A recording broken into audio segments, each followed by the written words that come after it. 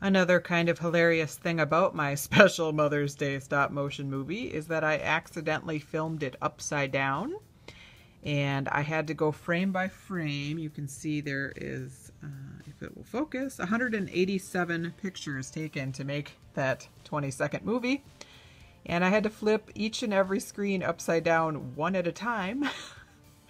It got very dizzy, but I want to show you guys something. I'm sure you've already watched the video and you've noticed that uh, it flips around upside down sometimes. But here's the preview on my stop motion movie maker.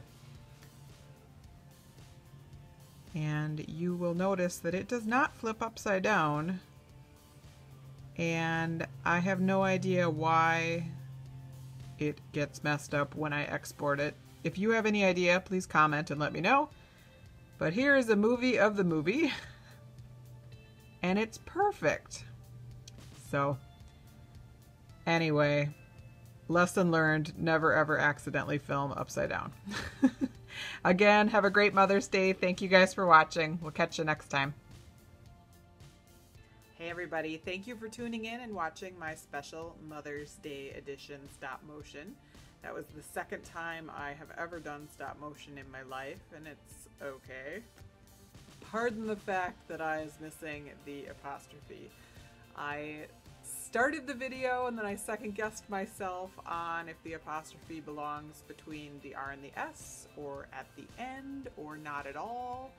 So I had crowdsourced and asked my friends and then I went back and finished the video, and then it was only after the fact that I realized that uh, the apostrophe was gone because I had moved it, and I can't magically put it back in.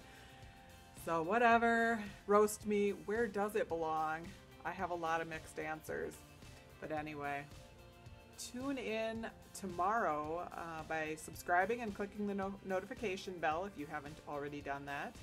Uh, you will see my first attempt, which was hilariously horrible. But anyway, this one was okay, right? Thanks, everybody. Have a great Mother's Day.